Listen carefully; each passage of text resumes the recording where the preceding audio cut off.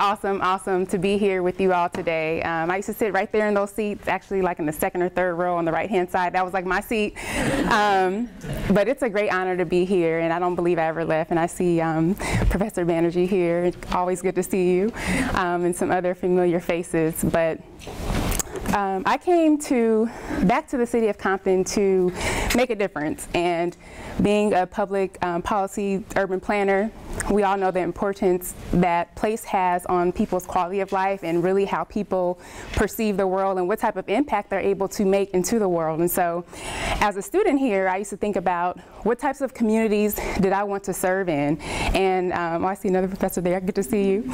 Um, and I thought about when I look at communities that are very affluent and communities that um, people quite frankly want to live in, I said, what's the difference between those communities and communities um, that are underrepresented? And what I used to always consider was I really believe that it's really just good policy and also great leadership. And so I made a concerted effort to make the decision to work in underrepresented communities in order to make an impact. And we all know that we can kind of have this whole game plan of what we're going to do when um, we grow up.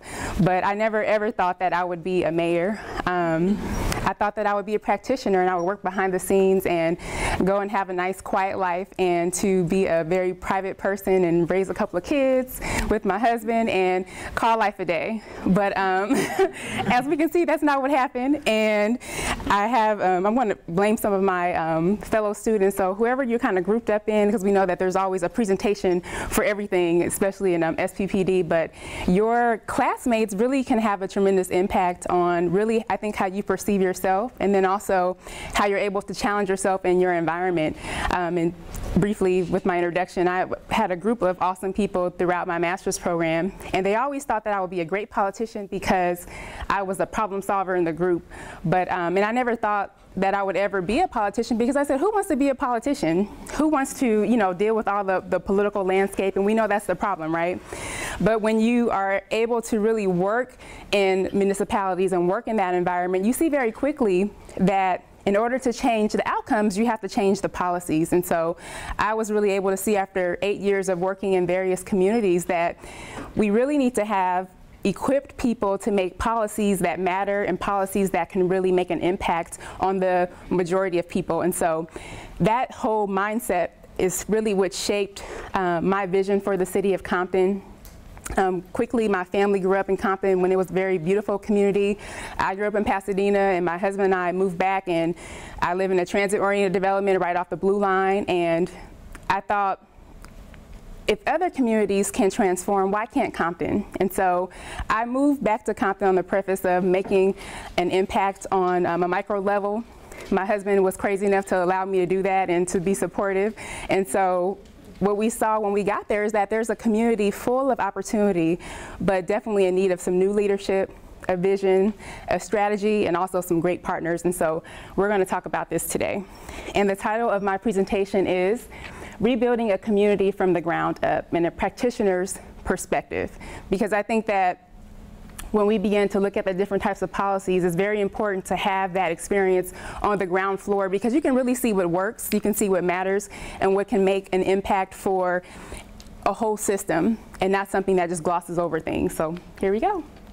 So my vision is, and this is as a result of an empowerment congress. I brought some community leaders together, and we spent um, about a week here at USC with Supervisor Mark Ridley Thomas and his organization, the Empowerment Congress, and we started to talk about, you know, what is the vision for Compton?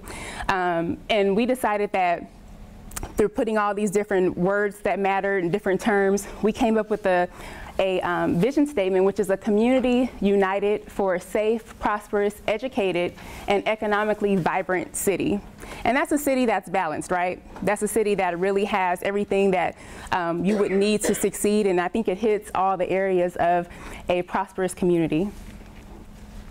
And so these are the challenges and what I call ground zero. Um, Compton has an infamous identity. There are very few people. Um, show of your hands if you're not from the state of California, just raise your hand. And then keep your hands up. How many of you all had not heard about Compton? Keep your hand up. So we have one per, two people who had never heard of the city of Compton with a room full of many people who are not even from the state of California. So that just shows you the impact of, I think, pop culture and then also media can have on a community. And then public safety. Um, Compton was known for gang violence and gangs, but Compton is much safer than it was 15 years ago. We have reduced crime um, over the last 13 years by 67%. So Compton is a much safer community now than it was in the past. We also have fiscal constraints. Um, we were on the border of many, like many other California cities, of discussing options of bankruptcy, having amassed a huge deficit. We had about $42 million deficit, um, which we still have, and $20 million of that was from internal borrowing, which AKA is poor management and no fiscal controls. And so we had to re-implement fiscal controls and then also put the city on a payment plan over the next 20 years to pay down that debt. And then we also have an educational system that has a poor perception. Most people, when you think about raising your kids, you're not going to think, let me move to the city of Compton and put my kids in public school, right? And the truth of that is that we have API scores that are extremely high for our elementary um, schools and they are literally at the top of the charts in the state of California. But then we also have a very strong preschool system, which is very good with Head Start, but there's a fall off between middle school and high school. So how do we address that disconnect? And then there's also a lack of internal infrastructure, which would allow us to amass a huge deficit, but then also just basic policies and procedures that just are not in place. So we're literally having to rewrite a lot of things to make um, the city run more efficiently, but then also to promote transparency and efficiency from the community's level. And then also enforcement challenges. And enforcement can go through just code enforcement. It also can stem to um, different funds that we have that most cities have, community development block grant, and all of these things that um, if you do not have the proper management or system in place, then you can definitely have some challenges. And then also civic engagement and pride. And when I see the city of Compton, there's almost like the tale of two cities. There's one population that has an extreme strong sense of pride um, that have raised generations of people from there and they really know the history of Compton and how rich it is. And then you have a new population that has moved in in the last 10 to 15 years or even shorter than that that may not necessarily have that connection to the community and what they know of the community is really um, the same thing that we know, right, from pop culture, excuse me.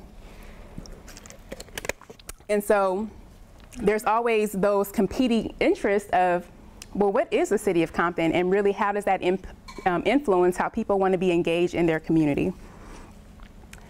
So this is a summary of a 12-point plan. I think you all may have accessed this online, but it just goes through um, some basic things that were really a result of having various charrettes with community members. And so Briefly, my campaign was not Aja Brown for mayor because I'm the greatest. It was vision for Compton because I believe that we need a vision for the community. And that's what really resonated with citizens that were despondent to leadership, didn't trust government because we've had a history of corruption in leadership in the city of Compton. And then those people that live in the community and really have seen the impacts of disrepair. And disrepair in terms of infrastructure, we have potholes throughout the city. There's um, various issues that are really from a systematic breakdown of poor planning. And just a real quick summary of that, most communities have a capital improvement plan that you pay into every single year so that when you need new um, rail lines or, um, or you need new streets or you need to do your potholes, there's a dedicated source of funds. The city of Compton didn't have that, so where we are is ground zero. And when people are dealing with all of those things and still trying to do basic things like go to work and take kids to school, all they know is government doesn't work. And so we sat down with the community and asked them what are your issues and provided um, solutions that can really bring back a balance and restore order in the city. And so these are what those um, items are in summary, and we'll go through them throughout the presentation. So my strategy for success is to really be able to assess the issues and constraints, which I talked about that before and then also identify some uh, prescriptions, and then also to strengthen and expand existing framework. So you have to be able to say, you know, not everything in the city is broken. Some things need to be built, upon, uh, built upon and then reestablished in a new way. And then also to establish common cause with colleagues and buy-in for main objectives. We live um, in a democratic society, so I have four council colleagues, and we all have equal voting. So I can't just come in with a unilateral strategy and just um, by magic make people buy into it. So it takes having that leadership capacity to really be able to establish buy-in from your council colleagues and from the community as a whole. But the great thing is that I came in on a mandate from the community with 64% of the vote that were obviously ready for change and they had bought into a new vision for Compton. And so that has given me a lot of clout in terms of what works. Um, and then also my background of being a practitioner and then of course uh, my education background and so I've been able to work very well with the majority of my colleagues to establish this buy-in which is critical because in speaking with mayors across the nation people have their horror stories of councils that are basically like the president and Congress they're you know at, at each other's throats right and of course, that's very difficult for things to um, actually happen. And then also to identify core objectives, the city plans that must be implemented now in order to provide internal infrastructure for success. So when we look at the city of Compton, they have been, and this is my analogy that I use for a standard citizen, is living paycheck to paycheck. You know, you don't really have a strategy for growth. You don't have a strategy to be able to meet your needs in the future. You're just really dealing with the most critical things that you're giving with at that one time. And that's really how the city has operated for a very long time. And I spoke briefly about a capital improvement plan, pavement management study. That's just one example of the lack of strategy and what the results can really be for a community. And then also to build coalitions. Coalitions are so important because without coalitions, you don't have the support, the manpower, and the capacity to make real change happen. And then also establish partnerships and stakeholders. Stakeholders and partnerships, they really are the wind beneath your wings. When you're coming in trying to establish a new system, you really have to have a group of like-minded people that can support you and then also bring together organizational capacity and additional resources that may be with, um, out of your reach. And the key word there is leverage. You have to leverage everything. And I think that most um, citizens, and even as a public policy student, we have the misconception that most cities in America have a big fleet of staff under every mayor but that's not true. I have one staff person um, who's basically my, my chief of staff do all, is all, and then I have a secretary. And then I have a team of dedicated community um, partners, and then I also have my academic partners like USC that work behind the scenes. And then I also have interns that really um, are able to champion one particular initiative and make some things happen. So it's really about leveraging and bringing all of your assets together. And then for local economic development, what we've been able to do is to really establish policies that can facilitate the type of growth that we want in our community. Basic things like design guidelines. When you go to any community that is um, very aesthetically pleasing, there's a complementary palette for facades. And I think we subconsciously don't even recognize that sometimes, and I'm sure that you all do being um, urban planning students, but the standard person doesn't really understand why this looks good and why this doesn't. And so when you go to really basic things, it's just that, um, that you need to have in order to have that type of cohesion. Also, um, looking at new zone designation and overlays to really reorganize the city because when you have um, vacancies within a community, there's obviously a market failure. So how do we address the market failure and then be able to provide a new overlay to be able to transition one area into a new different type of more efficient use? Um, my mission is to have Compton designated as a promise zone. And we know that the city of LA, certain parts were able to get designated, but I believe that Compton is an awesome community in order to be able to access those resources. And I think what that would mean for the city and what could have measurable impact is very significant. So that's something that our administration is working on. And then certain programs, um, and this is just one example, a microloan program so that small businesses can access capital. These things weren't there in the city of Compton. And then also to create new institutions. So we are in process of creating a community development corporation in the city of Compton in order to be more nimble, to be able to be more diverse, to access different sources of funding, and then to be able to really organize our economic development activity in one um, concerted effort. And then we're also in process of establishing a business accelerator, which will be open um, this summer, with, and that's another result of partnership, excuse me.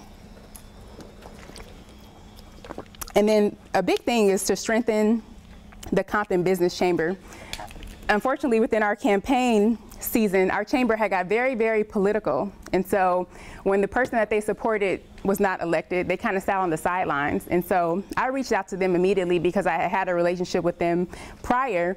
And it literally took almost seven months for us to get back on one page. And so I think it's critical to be able to strengthen your um, Chamber of Commerce because they're really your catch-all for your businesses that are looking to um, relocate within the community, but also to be able to expand the um, the core capacity of your existing corporations. And Compton is very rich in um, corporate assets. So how are we able to diversify them and turn a property owner or a business owner into a stakeholder? And employment development. So we are working with USC Center for Economic Development for the establishment of an advanced manufacturing partnership, which is a zone designation. That um, grant will be submitted uh, the first, I believe it's April 12th of um, this month, and so we're very excited about that. But what that means to us is that we'll be able to connect our local industry, which is heavily um, in manufacturing and logistics with our local academic institutions, so Compton College, also um, Cal State Dominguez Hills, of course USC, um, Trade Tech, and then other organizations around different trades that are made available, and then of course our trades union. So that's going to be critical when we look at the region as a whole. How many of you all are familiar with R1 or R2 funding?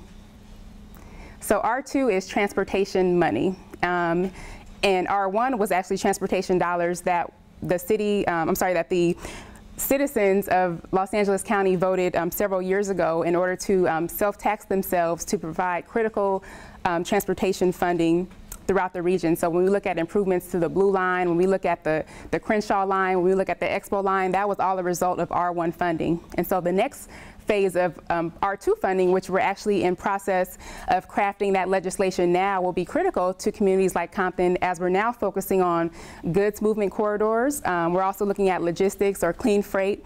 We're also looking at expanding or enhancing additional um, rail lines throughout the region for more connectivity, and then also retrofitting the existing lines to be able to be um, at the cutting edge in the next 50 years. And so um, in years past, Compton really was not at the table, and so we didn't get um, a significant share of those funding, but when we look at transportation assets, Compton is very centrally located. We have the Union Pacific line, we have the Alameda Corridor going straight through Compton, which is the major um, entryway for goods movement throughout the ports of Los Angeles and Long Beach, and which we know is, is the number one goods movement corridor for the entire world, right?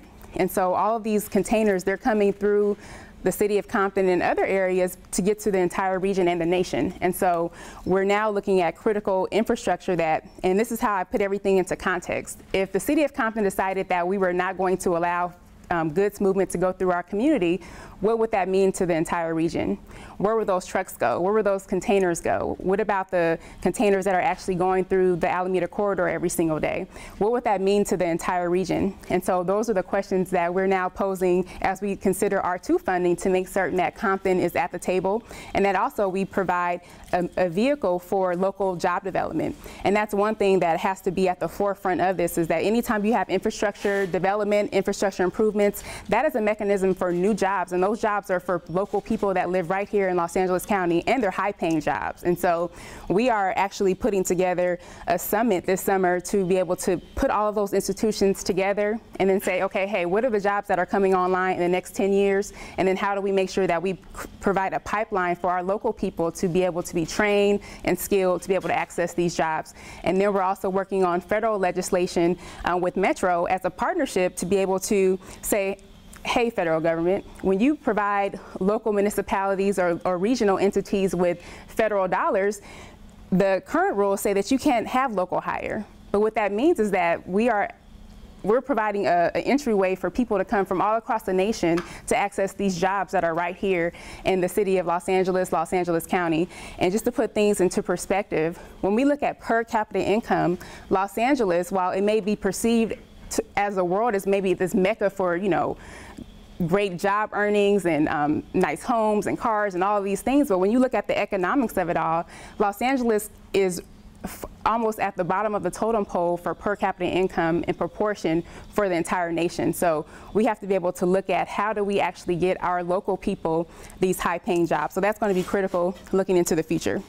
And then also, um, programs. So we're creating employment specific programs to really meet the needs of our community, not just unemployed, underemployed, people that have um, maybe had a felony um, in the past and that are looking for a way to re-enter into the workforce. And then institutions, we're actually um, created a partnership with the Compton Courthouse to be able to um, remove people from probation if they meet certain guidelines within our program.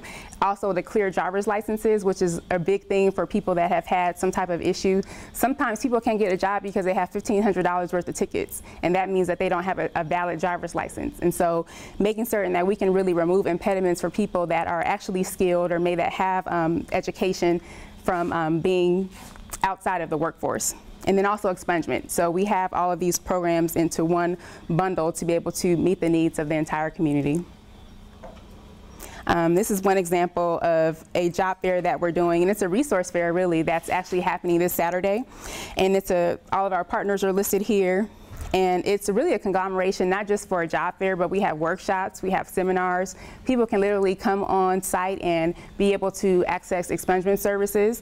Um, there are over 200 jobs that will be made available that day to people that are ready. And then we also have seminars of how to get your resume in order, how to prepare for a job interview. And then people can also sign up for the nursing field that day with a panel of experts. So it's going to be an awesome, awesome event, and we're expecting a huge turnout and then youth development. So I'm really big on kids. I just think they're our future, of course, and um, there's such value in really investing in the next generation. And so we've been working to establish some youth enrichment programs outside of Compton College. And so, I'm sorry, outside of Compton Unified School District. And just a quick city 101, the council does not influence the school district. Most cities in America actually have a separate um, Compton Unified School District board. Most people think in I think if you're being logical that the, the city council and the school board will work one, one on one in tandem, but that usually doesn't happen in real life. And I've learned from speaking with other mayors across the nation that that's usually the case. And so we've had, um, I call it political residue of people who, you know, don't really want change, but they have to understand that, you know, change is here and either, you know, you're going to get on board or you're going to be left behind. And so I always look for ways to be able to implement change, but to almost have the path of least resistance. So we do have mentorship programs that are operating within the schools now. Um, we have a young men's mentorship program, and then we're also launching a young ladies mentorship program in the fall. And those programs make a tremendous impact um, when you really look at the population and then we're also looking at establishing a Saturday Science Academy, which I was a um, product of, and I know how firsthand that can really change the trajectory of a kid when they never maybe have considered a career in the in the um, arts or in um, in sciences. And being able to be able to do things that other kids their age can't do or in their environment has a huge impact on their self-esteem. And so it's really a twofold program. And then we also have um, a workforce development program that we're launching this summer in partnership with RBI and the Urban Youth Academy. So one half will be sports as a carrot, the other half will be instruction in the evening and the internship component, and we'll actually be paying our kids. And so that's something that we are very excited about and working hard on that program as well. And then my ultimate goal, and this is more of a long-term goal, is to have citywide preschool within the, within the community and to have a universal preschool. And I think that Head Start does a tremendous job within our community and we know the stats of kids that go to preschool and what that means for them throughout their whole entire life. Um, how many of y'all have heard about the school to prison pipeline? So everyone, most, so the school, the school to prison pipeline is basically that kids that can't read well by the third grade, they are 90% more likely to be incarcerated at some point in their life. And so these facts are actually um, tangible. They've been um, documented, they're staggering, but they're really real. And so we're really having to be able to look at ourselves, look at our education system, and figure out how do we break down this pipeline. And so it has been proven that preschool has a tremendous impact on kids. And so I believe having a universal um, preschool within the community will um, have a tremendous impact on the community for generations to come. And then health and wellness. So we have healthy food collaboratives. We have a farmer's market now in the city of Compton. We also have organic food co-op that has started um, at the end of last year. And then we're also putting together a healthy food campaign to really be able to educate people on the importance of eating healthy foods and then also that they're affordable and right here in your local community. And so that's something that we'll be launching um, this um, summer. And then we are also launching a Healthy City campaign, Let's Move Compton. So we have great partners that are actually funded to um, make this happen within our community. And our goal is to be able to have a whole citywide um, health turnover. And when we look at the statistics of um, black and brown people and the impacts of high blood pressure, diabetes, and cholesterol, there's a huge issue. We have to be able to address that within our community. And so we're looking at ways to be able to incorporate healthy food and fitness into our city. And then also to bring people back to the parks because if you don't use parks, they're usually be used for something less desirable like gangs or other um, maybe selling drugs. So we're really trying to make sure that we can get people back into the parks. And we actually have some really nice parks in um, many areas of the city that um, are heavily utilized, but we also have a lot of smaller pocket parks that can be utilized as well for fitness activities. And then also organic gardening. We have our own organic garden here in the city. And there's also a great health education component that um, provides free materials, free um, instruction from a master gardener, and they're available to Compton residents. And then we also have a great partnership with the kitchen community that has um, facilitated or in process of putting um, three organic gardens in our schools as a pilot program. So really teaching our kids how to farm, the importance of healthy living, and then having them be able to have access to that on their campus. So we're really excited about that as well. And then for public safety, public safety is really huge. Um, and I kind of started with the, the hardest issues quick um, first, excuse me. Right after I was elected, we had a series of shootings within the community. And so we had a community, um, it was called a community emergency. And so we put together a team of experts of law enforcement that touch Compton. So, and we have a task force that meets monthly, and they actually have two different subcommittees that provide different initiatives in the community. And the FBI, the Compton Sheriff's Department, which is our local law enforcement. We have our code enforcement, the school police, the DEA, um, different county officials, probation. So everyone that has anything to do with law enforcement or enforcement within the city of Compton, we're now on one page. We've coordinated joint stings. We've had tremendous um, success in reducing crime in certain areas of the community. And we've also heavily focused on human trafficking, which is um, an issue in the city of Compton and really throughout the city of Los Angeles. And as part of that, our city attorney and I worked on new legislation to be able to promote the type of outcomes that we want. So when we look at Long Beach Boulevard, which is within the city of Compton, there's a high concentration of motels, where those motels obviously are not filled with tourists. They're filled with people who are soliciting sex um, for money. And, we, and they're filled with people that are paying for sex um, with money. And so when we look at how does this happen, where they're usually with hourly motel rentals. So what we did was we eliminated hourly motel rentals in the city of Compton, and that has had a, a tremendous impact on reducing human trafficking activity within our city. Um, literally, um, at one point, you can drive down the street um, during the day and you may see a few women walking up and down the street, but if you go down to Long Beach Boulevard, um, today, you will not see that type of activity. We've also shut down one motel that was a hub for illegal activity.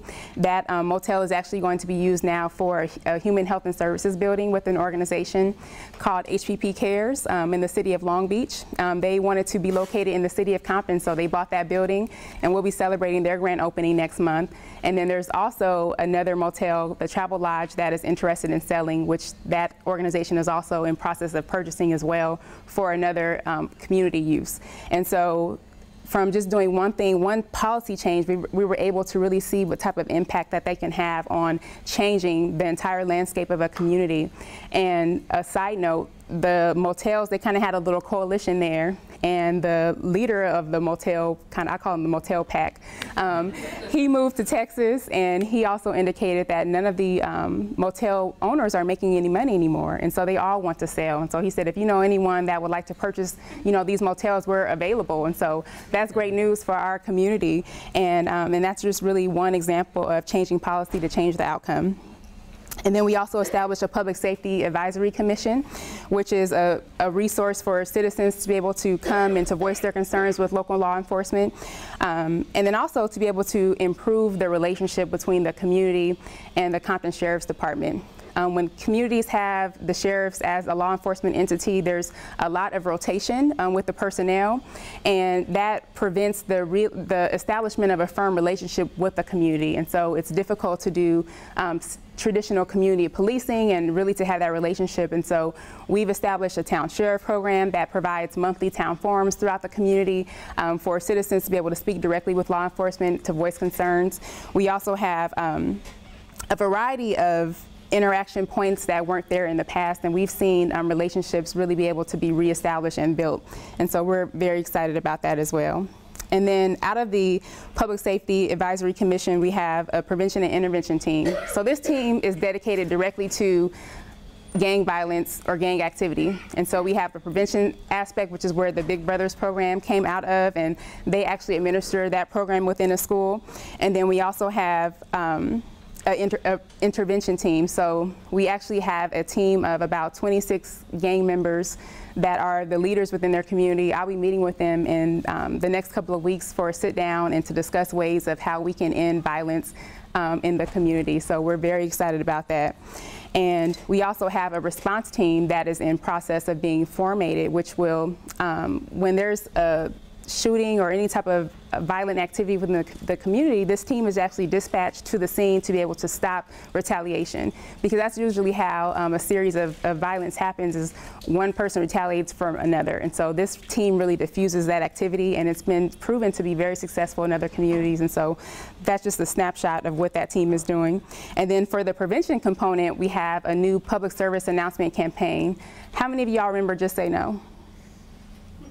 Anybody remember that? That was kind of big when I was growing up. And we are doing a revamp for this generation on Just Say No. So it won't be called Just Say No, but it's something that's relevant to this um, generation to make sure that they can understand that you can still be cool and not do drugs. You can still be cool and not, you know, go into gangs or to drink alcohol or to take prescription drugs and all these other things that really weren't available when we were younger, um, but that are available now. And so the other component would also be to make parents aware because most parents don't even know, you know, what's out there. They don't really know what their kids are doing. And so this will be a great resource. And then we also have a website, which is under construction called protectcomptonkids.org. And so this website will be a catch-all of information and resources for um, parents to really be able to understand what resources are available within the county. And then also to be able to provide a forum for young people to come and to access information as well. And this is um, year one of action. So I have a series of initiatives that we have done in the last nine months, and this is the um, community, um, the community safety warning that was issued that I spoke to you all earlier about, which happened in August, which is really the launching of our community policing efforts. And this is the task force that I spoke to you all about. And the main goal is to end gang violence and also to eradicate human trafficking, which I'll spend a little bit of time on human trafficking for a moment. Um, the majority of domestic human trafficking is involves minors. So 90% of young women are actually kids, and I think that most people look at prostitution as a victimless crime, and they think that, oh, those women want to be out there and sell their bodies, and that's just too bad for them. But the majority of those people, young men and women, are actually minors. And under the law, their minors cannot actually give consent to have sex with an adult. And so when we look at, well, who's involved in the prostitution ring, the question is, well, who are the pimps? Well, now in today's age, pimps are actually gang members.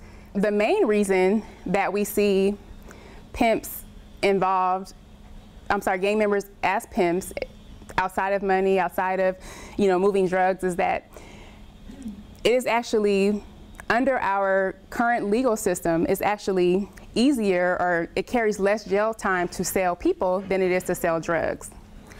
So, and that's ridiculous, right? We live in the United States of America, and we think that, you know, domestic trafficking or human trafficking is probably really an international issue, which is not, not the case. And I think the guy in the back, he probably knows a little bit of something about human trafficking and domestic human trafficking, but the majority of people that are involved in the sex trade in the United States are US citizens. They're usually um, kids that are from an actual household they're usually runaways. They are not just poor people. They're not just people of color. Um, human trafficking impacts everyone.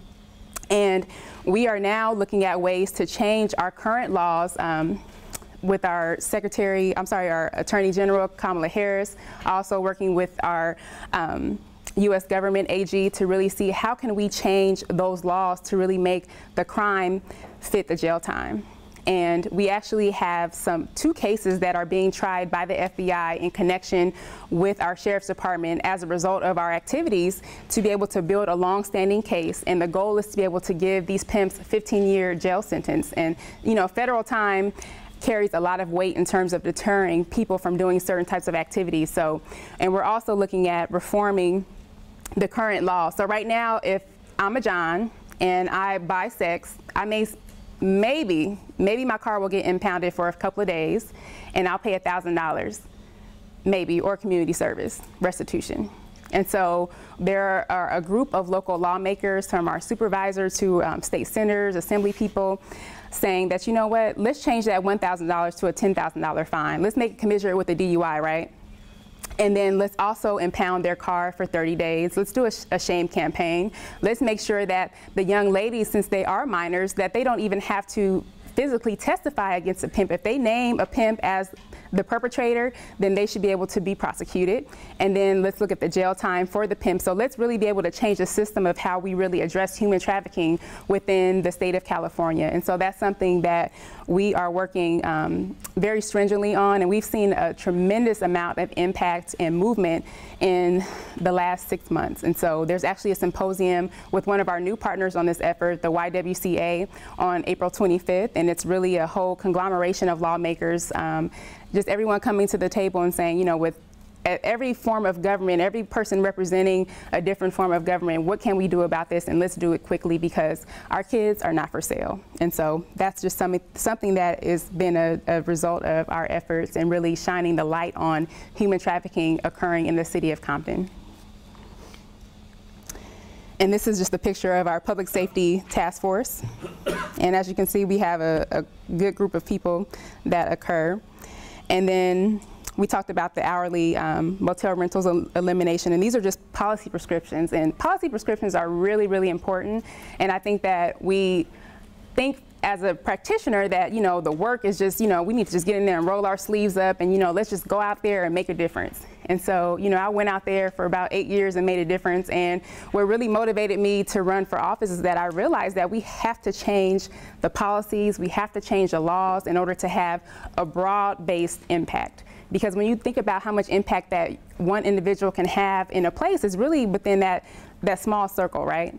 But when you can be able to step into a leadership role, and this is my PSA of why urban planners and policy students should run for office, because we need competent people as politicians and not politicians as politicians. And so if we can have people that actually have a background and that just is not representative of big business, but they actually have values and maybe they don't want to um, ascend up to the political ladder, which is nothing wrong with that. Um, if you can make a, a, larger impact by going to another level, I think that you should do it. But there's so much work to be done, I believe, at the local level.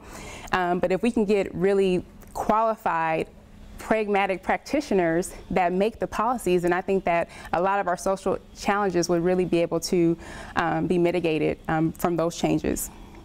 And so that's just my little commercial of why you all should think about it. Um, and then also partnering with advocacy, advocacy groups. I spoke about our partnership with the YWCA, state and regional leaders. So this is actually happening right now in real time. And so we'll be able to keep you all updated on the um, journey to be able to identify this issue and then also to eradicate it. And this is um, November 21st, Supervisor Mark Ridley Thomas organized a march in the city of Compton and about a thousand people came out.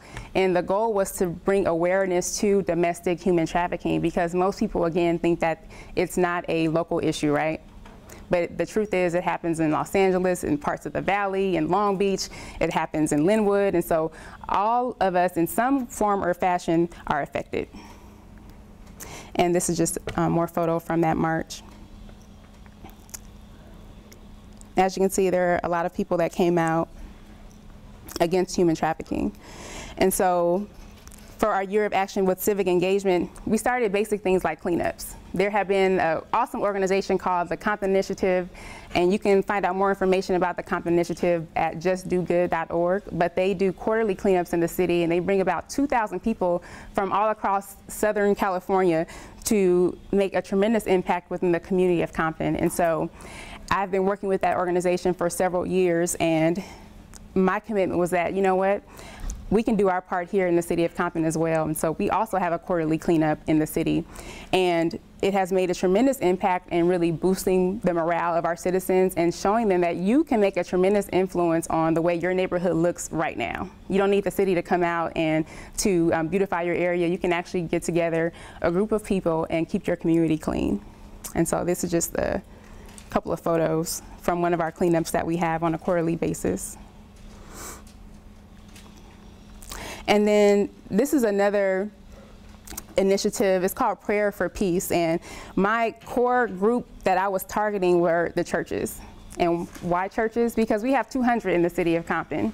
And when I think about 200 churches anywhere, and especially in a 10 square mile radius, my question is, well, what's going on with the church? Obviously they're inside of the four walls. They're not going outside because we have all these issues within the community. And, you know, regardless of your faith or what you believe in, what you don't believe in, I look at what are viable institutions to affect change within our community. And churches have people. Churches are full of people that understand a leadership. Um, hierarchy, and so they can easily assemble about 50 to 100 people, and usually more than that, to be able to come out and make an impact on any given day. And so my goal is that if I can just get 10% of that 200 to be able to adopt certain initiatives, then we can definitely have some great manpower to make local change at the civic level and to um, increase the level of civic engagement within our community. And this is an example of one of our um, events. We had almost um, about 500 people that came out, and they were really standing for peace within our community. And the last part of the civic engagement was a call to action. So when I'm thinking about our 200 churches and I think about our 100 plus nonprofits, I put together a symposium, and the goal was to unite, elevate, improve, and to serve. But the biggest goal was to put everybody on one page. Working in communities, I've always seen awesome, awesome organizations doing the best that they can with the small capacity that they have, but they're, everyone's doing their own thing. And so our goal was to put together um, a, a, great team of people that are centered around certain issues or certain initiatives and have them work together. And so we put together a great symposium about 100 to 125 organizations were represented here, and we looked over our certain um, our vision initiatives. And so as a result, we talked about all of these different issues that we're talking about today.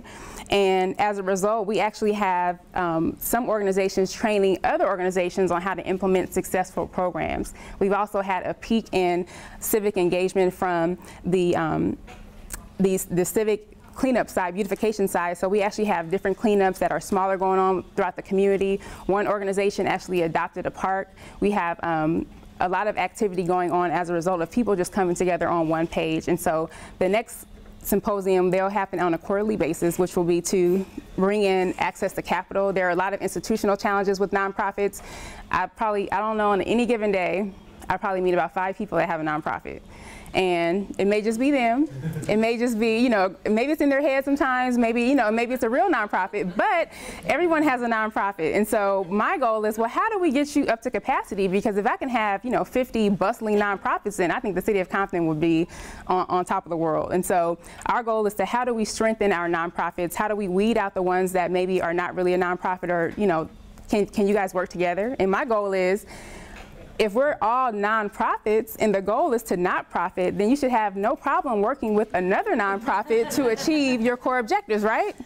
Right? And I think that kind of puts people on the carpet and it weaves other people that are looking for, um, and I'm sorry, I, this is what I call them poverty pimps. And these are people that pimp poverty. They come to communities and they want to be able to access resources or funding for their own personal gain. And so that's how we're able to weed out, you know, those people that are not there for the right reasons and then strengthen the other organizations that are really doing great things.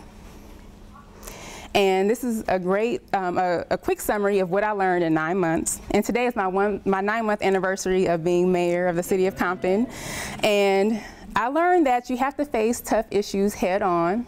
And I think that most people thought I was crazy to start addressing crime, to talk about our infrastructure, to talk about all these issues that really matter to people because the, um, the political implication. And I think the, the natural um, response is to kind of don't talk about those things unless, you know, do a rah-rah party or do a community fair or something that is just like a one-day type of situation that has no impact, right? And people feel good about it. They feel good about it. When election time comes up, they can say, remember, I threw all these parties and you guys came and had a good time and we're still in the same shape that we were in, you know, four years ago, right? And so I decided to, to really focus on tough issues because if you don't have a firm foundation for growth, then you're not going to have change. And so I'm willing to uncover the dirt and to get to the bottom of what's really needed in our community, even if it seems that, you know, we're taking a few steps back in certain directions, but in order to have a firm foundation is critical. And I think it's critical in the city's success. And that strategy is really counterintuitive to a politician because people think in four-year time frames or whatever your term is, right?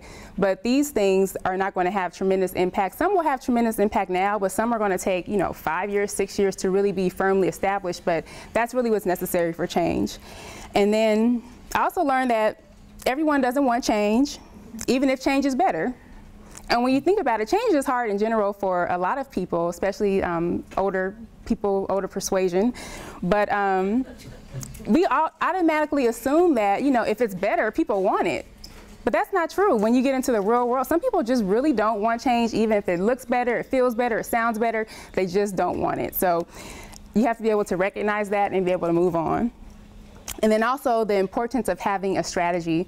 We've been able to have a litany of great sponsors and partners because we actually have a strategy.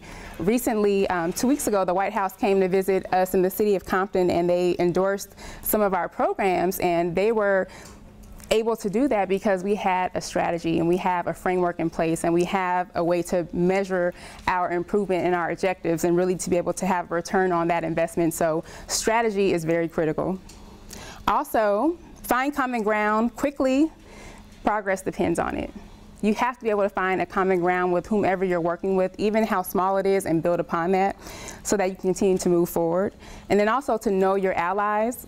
You have to know who's on your team if you don't know who's on your team, they may be an enemy, and enemies try to stop progress. So it's very, very critical that even if you're a practitioner, whether you never ever go into politics, you have to really understand who are your coalition partners because politics is, and there's a, a, famous book, you may have heard it by Tip O'Neill called All Politics is Local. You all should pick it up. It's like a quick read. You probably read it like in three hours. But it really puts um, politics into perspective, and I think that's really important for planners and policymakers because you can't um, be a planner and you can't be a policymaker without taking politics into perspective because it really sets the context of how things happen, why things don't happen, and really how to get things done. So pick that book up. And then also partner, partner, partner.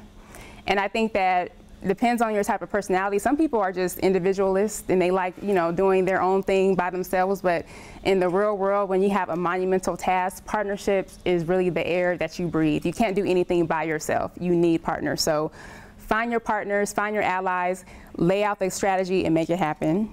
And then also do what you can. I mean, the city of Compton has a lot of challenges. Um, Rome wasn't built in a day. USC wasn't built in 10 years. I think um, the last time I was on campus, well, I've been on campus more um, in the last maybe year or so, but when I graduated in 2005, some of these buildings weren't here. Um, you know, parking structure, all of, I mean, the, the whole neighborhood looks completely different. And when I think about it, I remember I used to work in the um, sustainability department. Um, hi, Professor Myers, and um, they actually used to have this this rendering of what the community was going to. Uh, what, what, the community is going to look like, excuse me. And the community meant USC and the surrounding area. And so it was like this really master strategic plan. And I said, wow, you know, is the university going to make this happen? And there's, oh yeah, this is a 10, 15 year plan. And to see it materialize is it's just amazing. And you have to be able to understand that tremendous impact is going to take time. It's a process, but you have to be committed to the outcomes, be committed to the strategy. Don't change the strategy, and know that um, change is inevitable, but it's going to take a lot of hard work and dedication. And so that is the end of my presentation. Thank you. Um, first of all, uh, still today, my best sit students sit right over here. so that, I mean, some of the best ones are over here right now, and I'm teaching at 4 o'clock, and there's my best students are over there too. So there's something going on there. I haven't done a study on it, but um, um, so thank you so much for being such a wonderful role model. This is so great. I actually came to USC in 2006, so we just missed each other, but I would have been honored to have you in my class. So it's wonderful to meet you today. Um, so I think one of the things that's really exciting um, to listen to Mayor Brown um, is you know, first of all, it's a sort of big relief here at the Price School because you were saying all these things, and I kept thinking about the authors that we teach, and I thought, okay, we've so we're preparing our students to do this stuff. This is what you do day to day, and this is what we teach in class. So that was really exciting. And I want to just talk very briefly about just two things you said that really resonated with me. First of all, you started off saying, talking about the difference between places that people want to live and the places that people don't want to live, right? And sort of understanding the places people actually want to live. And this really harkens back to the great urbanist Jane Jacobs and her concern about blighted neighborhoods and the way in which you make a neighborhood truly vital is you make people want to stick around. They can get richer, they can get smarter, they can have two kids, they can get divorced, but they're tied to their neighborhood and then they're invested in their neighborhood. And those are the places that really succeed. And you're doing this with Compton, which is so exciting. Um, the second thing I thought an awful lot about was that um, Michael Porter, who's a business professor at Harvard, wrote a really important article, which any of you who to take my classes read, which is the competitive advantage of the inner city. And his idea was you don't hand things out to cities, you teach them how to swim on their own, how to fish on their own. You teach them how to sustain themselves. Um, and you, you treat it as a system. I mean, that's, those are your words, not Michael Porter's, but that you're looking at a whole system here. And, um, and I think that that's an extraordinarily effective way to not just economic develop an area, which is what I do, but to develop the community um, and the social aspects. And, and there, were, there were six ways you did this. You talked about, you talked about com community relationships, which are essential. Um, neighborhood level competitive advantage, we talk about city competitive advantage. What about this, the, the neighborhoods that uphold that advantage? Um, connecting to other neighborhoods, whether it's socially or through transportation.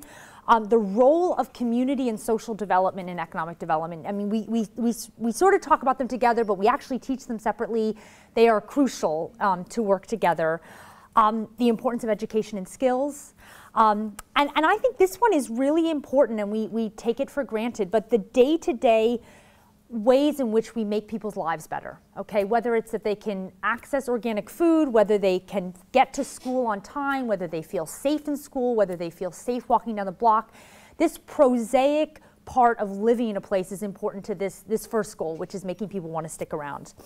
And I'll just finish up by saying that what is so exciting about what Mayor Brown talked about today is that policy really does matter. We, we really can change things. I mean, you are such an inspiration for how this happens. So thank you. Thank you. First of all, thank you so much for your feedback, and it's just a great honor. And I just want to give you all a commercial for USC.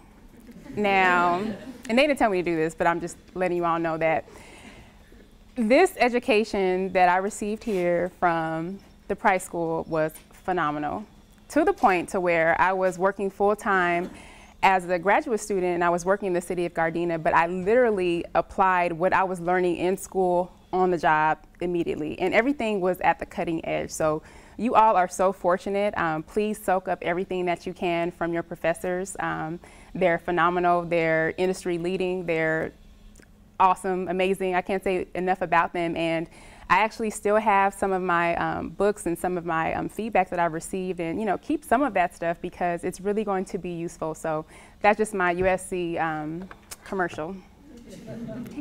Questions? Questions or comments? Yes, sir.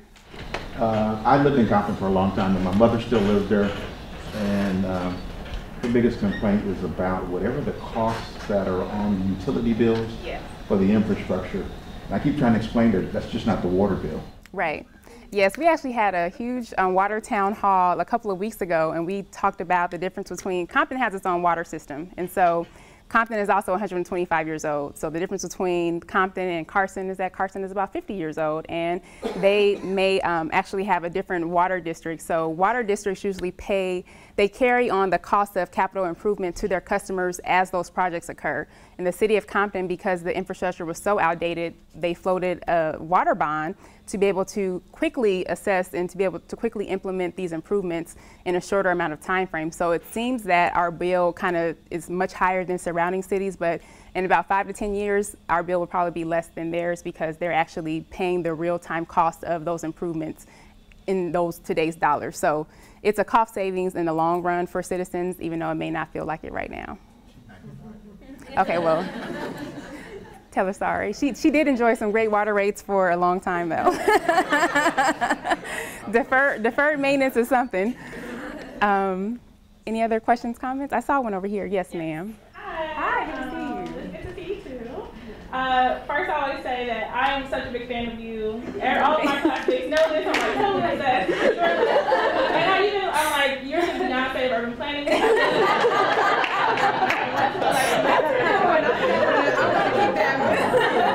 and when Beyonce retweeted your picture, I but I just have a serious question. Okay. So I'm from Detroit, Michigan, and um, there's a lot of planning problems in that area. And the whole reason I became a planner is because I want to go back to my community and make it better. Um, so I feel like we were very similar in that in that instinct. And I was just wondering, how do you deal with um, well, how do you deal with one? People, because there are people in this program, my classmates, my professors, who are very like, you know, Detroit is so bad. You know, the stigma of, of being from a, a, city that has um, such a heavy weight on its shoulders. How do you address that when um, you're going to stakeholders or you're trying to build these partnerships and they just have their mindset like, no, we're not investing in. It's only one way and what are the steps that you can suggest to people in my stage who are about to graduate um, to kind of building up building up that um, that team of positive people to you know to take back the city? Um, people return on investment is what makes the world go round, and so you have to speak to potential investors or partners in terms that mean something to them. Um, when I look at Compton, the, the challenges with Compton and their and the, the infamous reputation are really from you know pop culture media. People believe what they hear, or you know a couple of rap songs just really put a whole shroud on the community. And so I speak to people with facts, and then I also have a strategy. So when you can give people real facts, you can have a strategy, and then you speak to what matters to them, which is their return on their investment. Any shrewd investor can see the opportunity that's within a community. And so people that um, have a huge trajectory or can um, assess a certain level of risk, they look at places like Compton and Detroit as gold mines for potential investment later. So just do the work, get some really thick skin, and then get some real thick skin, and then don't care what people think. Um, you know, everyone's not going to see what you see, and that's called vision. If everybody had it, then they wouldn't need certain um, prolific leaders. And so know that what you see is not going to be what everybody else sees, and it doesn't even matter because all you need to do is match up what you see and what other people can potentially see or buy into. And so that's what leadership is, that's what planning is. Um, and I use the example of USC if people 50 years ago would believe that USC would look like this in the surrounding area, they wouldn't believe it. And, and many people wouldn't have moved, right? And so that's just another example. But Detroit is going to be all right. I know some great people, um, developer-wise, that are in Detroit right now with some massive, huge plans. So just get your education, get your experience, and go back and tear Detroit up and, and show them that, you know, Detroit is awesome. World-class city. Yes. Yes, sir. Um, she actually kind of half asked my question. Okay. um, but I'm really interested in how you're partnering with uh, media, um, Hollywood and the music industry to try to reverse, you know, some of the damage that's been done, um, you know, throughout the, you know, the kind of uh, 80s and 90s gang culture and, and so forth. It seems like such a powerful medium mm -hmm. that was able to change change uh, the trajectory of, of. It seems like it would be, uh, you know, just as powerful to change that. Absolutely. I have um, put together a concept called the Redemption Project. And this project is going to be a platform for people that have come straight out of Compton to come back to Compton and make something positive and really, um, one form is a documentary and then my ultimate goal is to have them do a remake of that song into something that's relevant and something that's positive. And I don't um, deal with rosy pictures, you know, we still have issues within the city, but it's not, you know, what people think that it is. And so I my goal is to have them tell their story of how they grew up in Compton, their family's history, and then how that really helped impact them and help them to um, catapult into their success. And I think that really having um, people speak in their own words and not just a four minute song can, I think that's going to have a tremendous impact. Um, and so we're putting together a team, actually met with a couple of students here at USC um, a few days ago about this um, project, but we're still shopping it around. And I've been approached by um, docuseries people and all of that. And so my goal is to be able to redirect them to something like this instead of a show about me or my candidacy because I think that's a non-factor. So at this point, so that's that's the project that we're looking at. Um, actually, before I moved back to um, the city of Compton, my husband and I we were what really impacted our decision to move to Compton was that we saw so much work that needed to be done. And so we had actually started going to a local church there, and that church had like a huge outreach. And so we did a lot of things within the community. And one thing was um, going out and speaking to prostitutes and giving them an option of if they wanted to get out of that lifestyle. And so um, I was committed to the work before I was elected, and I knew that this would, me being the mayor, would give me a larger platform to speak to the issues. But there was already a great framework of people that were really committed. Um, we also, I didn't put this in the presentation, but we just opened up a, a drop-in center um, on the boulevard. It's called Restoration Diversion Services. So young women and men can actually walk into this drop-in center that's on the strip and they can be transported to another location. They also can get access to critical services. They can work on their GED. They can actually um, get counseling. So this is something um, that's really been underway for a long time. But the biggest thing that I talk about, and I can tell you why politicians don't want to touch it because it doesn't, um, it doesn't add to their political toolkit in their mind. And most people and most politicians they shy away from hard issues because once you, it's like Pandora's box. Once you start focusing on these issues, there's so many different things that come along with that that you're going to have to, number one, acknowledge, and then number two, address. And most people don't want to address the real issues. And um, one way to really get leaders' attentions is to really speak to them in fact terms you know, how many people in Orange County are affected by this? What does a standard family that has maybe had their child, you know, maybe they ran away, maybe they're involved in human trafficking, you have to really put a human picture with it. And I would say definitely consider doing a, a public service campaign. And images speak a thousand words. We talked about the, um, the impact of, of, rap music on Compton, but you can put together a huge um, media campaign and maybe do like a large viewing and invite your local leaders and you know have a discussion about it. You know how does this impact you? So that could be something that you could really um, be able to put together and to, to do and really probably at a very minimal budget. You can get some awesome USC students to help you out with that. I would say um, everyone has a different Trojan experience. Um, my student experience was probably not the standard student experience. I worked full time, I went to school at night. Um, I was able to take certain classes during the day on a limited basis, but I wasn't a standard student um, because I had to support myself. So I didn't really have the whole, um, I would say the full Trojan experience. And so that's something that my husband and I look forward to affording our kids to just allow them to be students and, you know, do some internships at a, you know, no, no cost basis. But I have one of my um, colleagues that's also a Trojan here with me, um, Damian Wavyhan in the back. And so he, um, he and I actually worked in the city of Inglewood together. And I would say that the Trojan connection is really real. Is is really, it's really prolific. And I think that you don't have to, if you don't feel that you're establishing that now, it's okay. Um, just continue to do the work and do what you can. But they're out there. And once you're out there working, they'll just clump together and make some awesome things happen. And literally, the support that I've had from our alumni is tremendous. And it's almost like a secret society, you guys. And I didn't really think that it was really real until, you know, I started really um, the practitioner side. But literally, when people find out that you're a Trojan, they just open up the whole window to you, and whatever you need, it's like yours. So rest assured, the Trojan connection is really real in 2014. So you guys just you know make make the connections that you can right now but still stay connected with your professors because i still have great um, relationships with my professors from um, economic development and because our professors actually do real stuff. They're not just you know theory people. They're you know like professor myers back there. He's a pro prolific um, demographer and does, you know, he does a, a, lot of real things. So the more connected you can stay with your staff and your particular concentration is going to be amazing because they'll provide you with resources, um, insight, um, pro bono consultation, um, all types of great things to just make you um, really, really effective. So think about the Trojan Connection in a, a whole well-rounded way. Thank you all for the opportunity.